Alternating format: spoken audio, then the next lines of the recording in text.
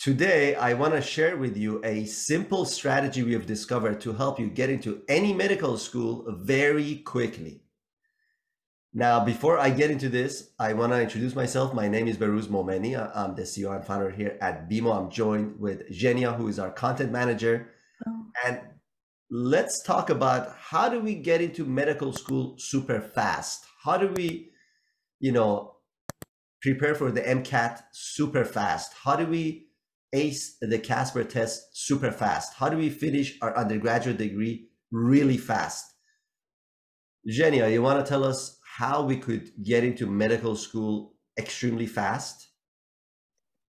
I think uh, my answer might uh, disappoint some of our viewers, but I think the key here is not to focus on the fast part of that sentence. I understand that uh, you know it's it's really important to try and be efficient with your education and with everything really you do, but becoming a doctor is not a fast track career. Uh, it is a very very long process, starting sometimes in high school. So um, focusing on the quickness uh, of uh, becoming a doctor is really not the right approach from the beginning.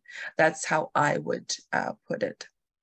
100% agree. You know, this is one of those things that I don't want you to be a doctor who's become a doctor within a day. I would personally will not allow you to touch me or examine me or anyone I know for that matter, even my worst enemies, if you've become a doctor fast. You gotta get it. There's two ways to do things, right? Fast or right. Normally, it's very hard to to get both, uh, unless you have the acumen that's been accumulated over time yes, a doctor who's already had 40 years of experience can diagnose fast, but the journey to get to that stage was not fast. It was 40 years of repetition, of getting feedback, of making mistakes, and hopefully, you know, mistakes that were not critical or mistakes that happen outside of training. But becoming a doctor, becoming a responsible person for other people's lives fast, it just blows my mind when somebody has that mentality. As a pre-med, that should not be your mentality because that means you're chasing a dream that is not probably yours. You're chasing a dream that you don't truly care about. You're chasing a dream that is mostly influenced by social pressure, your parents, your peers, or whatever that is. Because if you understand the process and you're enjoying the process, what's the rush? Where are you trying to go? Like, okay, so you become a doctor, then what? Let's say tomorrow I told you I have a magic potion to turn you into a doctor.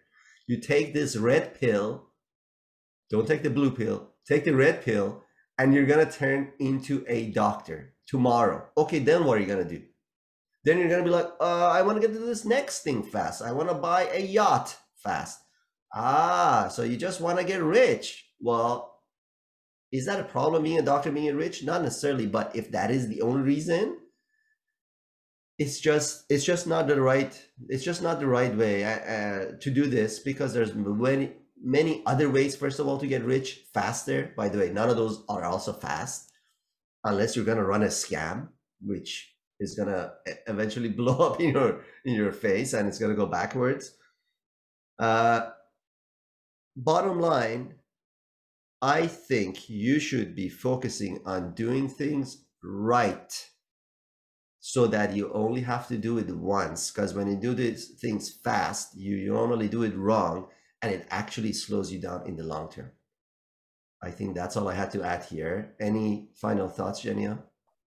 I think, uh, you know, so the trick that, you know, we're talking about is, yeah, not focusing on the, you know, on the speed focusing on the process, uh, understanding the value of the training and why it's necessary.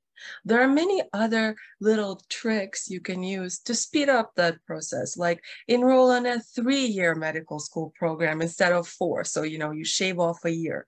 There are some programs like that, but there's no way of making it fast. It's just the truth. You know what? If you really, really, really want the fast way, you know, I'm actually going to give you a fast way to get into medical school, a really fast way to ace the MCAT, a really fast way to ace the CASPer. But I'm not sure you're up for it. So here's the way to do it. You want to do things faster, sleep less, work harder, work more hours per day. Don't take breaks on the weekends. Don't go clubbing on the weekends. Don't mess around on social media. Don't do that kind of stuff. If normally people study five hours a day, you study 16 hours a day.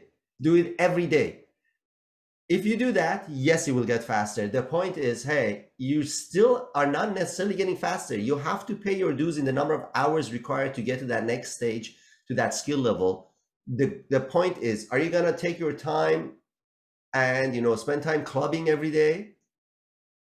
Or are you the type that is willing to say no to everything else for between five to 10 years and compress the time required, not really by compressing the time, by rather using more hours per day, every day, holidays, weekends, etc. That's how you do it fast. So there's really no fast. Yes, there is a way to shrink the time in the in the calendar term, but not the hours you need to put in. You choose. Are you willing to put in two hours, five hours? Are you putting, willing to put in 16 hours?